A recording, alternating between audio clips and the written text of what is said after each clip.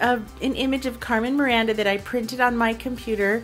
I have my self-healing mat, I have my little finger knife, and a black marker. So here you can see I traced over all the areas that I want to cut.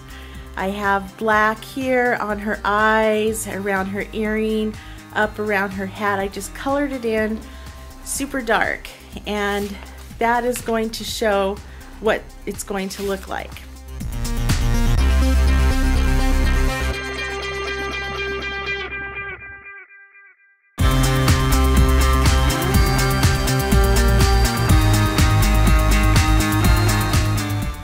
Okay, so here I have cut out all of these different black spaces and now I'm going to go hit it with some spray paint to see what it looks like.